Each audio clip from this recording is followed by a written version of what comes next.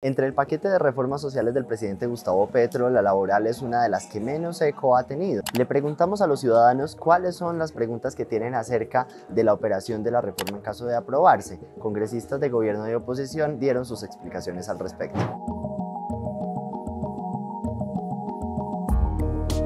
¿Cuándo se van a implementar las políticas que van a permitir la formalización laboral de los empleados públicos anunciados desde la campaña?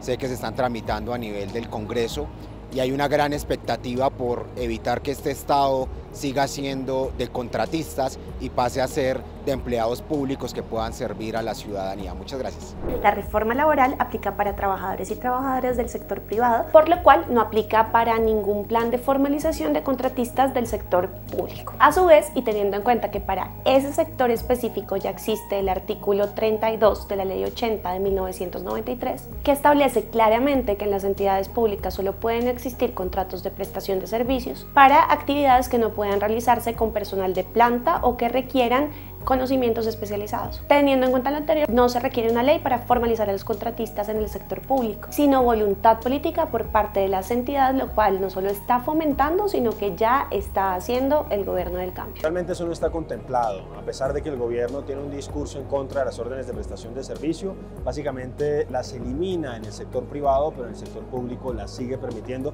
con un doble rasero. Es decir, a pesar del discurso, el gobierno mantiene las órdenes de prestación de servicio en el sector público. Puede ser que para algunos trabajadores incluso esas órdenes de prestación de servicio les den cierta flexibilidad. Lo que no se puede permitir es que ese tipo de instrumentos sean utilizados por algunos empresarios para tratar de precarizar a los trabajadores, pero eh, en cierta manera prohibirlos absolutamente sin ninguna clase de contemplaciones, pues restringe posibilidades laborales y además choca y llama la atención ese doble rasero que tiene el gobierno. Los prohíbe en el sector privado, pero los sigue permitiendo en el sector público, donde pues hemos visto que han sido en, en cierta manera la regla general en muchas entidades. Quisiera saber si la reforma laboral contempla la eliminación de contratos y tendrán los colombianos la posibilidad de ser eh, de tener mayor estabilidad laboral.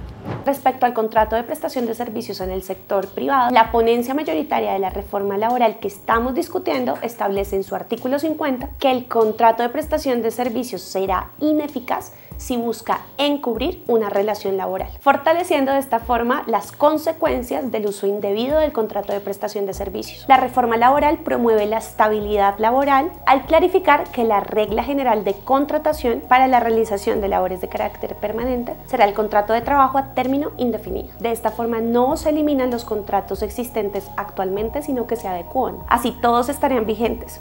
El contrato a término indefinido sería la regla general. El contrato de trabajo a término fijo podría realizarse hasta por tres años. Si se extiende más de los tres años, se convertiría en un contrato a término indefinido. El contrato de trabajo por la duración de la obra o labor solo debe durar el tiempo necesario para desarrollar dicha actividad. Si se extiende en el tiempo, se convertiría en un contrato indefinido. El contrato de prestación de servicios no podría utilizarse para desarrollar labores subordinadas. Siguen manteniéndose los contratos, se plantea, plantea el que los contratos, como regla general, deberían ser contratos a término indefinido, sin embargo mantiene los contratos a término fijo, pero nosotros tenemos una preocupación y es que con otros de los artículos que están contemplados en la reforma se pueden generar incentivos perversos donde a pesar de las intenciones del gobierno de que la regla sean los contratos a término indefinido, finalmente por cuenta de las penalizaciones, por cuenta de los altos niveles de indemnización por despidos sin justa causa, etcétera, lo que se vuelva la regla y que se vuelva lo común en el mercado laboral colombiano sean los contratos a término definido con un máximo de duración de tres años. Según cifras del DANE, la tasa de desocupación en Colombia en marzo de 2024 fue del 11.3%. Esto significa un aumento de 1.3 puntos porcentuales respecto al mismo mes del año 2023.